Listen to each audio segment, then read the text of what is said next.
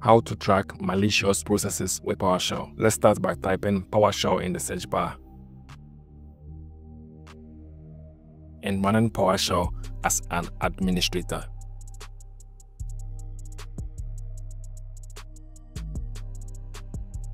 The Windows Process cmdlet is a powerful tool for obtaining detailed information about processes running on a Windows system. When combined with proper analysis, this tool can be instrumental in identifying suspicious activity linked to hackers type get WMI object, which retrieves data from the Windows process class that contains information about all running processes on the system. Class Windows 32 process provides several key properties for each process. Select objects simplifies the data displayed by narrowing down the output to relevant fields. Process ID Name Command line displays the arguments used to launch the process, which can reveal potentially malicious behavior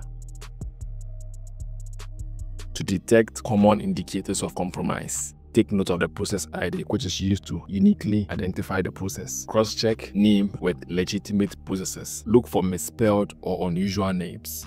An example is explore executable instead of explorer executable. At the command line section, look for encoded payloads, scripts, or paths pointing to unexpected directories. An example is temporary or app data. To export the information for further analysis, you can save the output to a file for later review. Type get WMI object. Class win32 process. Select object. Process ID name. Command line. Export CSV path drive C process CSV no type information saves the filtered output as a structured CSV file at the specified location, which is drive C. Let's navigate to the file. Click local drive C and search for process logs. Right click on the file and open the CSV file in Excel or any spreadsheet software to easily analyze processes.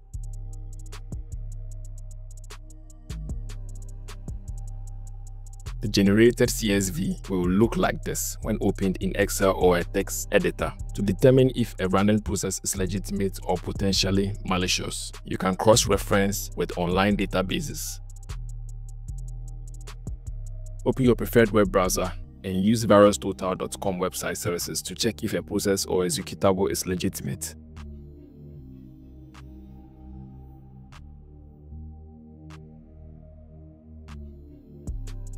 Here you can upload the process executable file.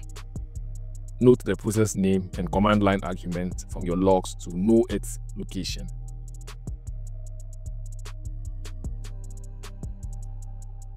Navigate to the executable file.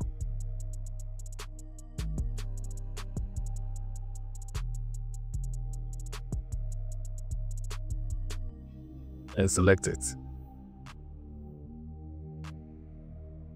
VirusTotal will scan it with multiple antivirus engines to check if it's flagged as malicious.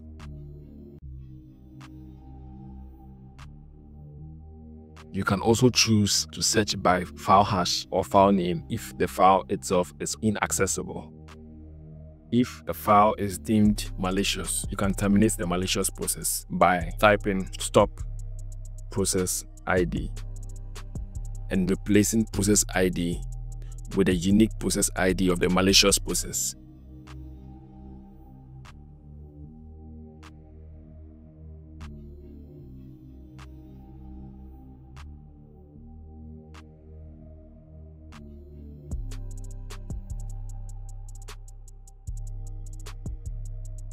Confirm the action by replying with the letter Y on the prompt.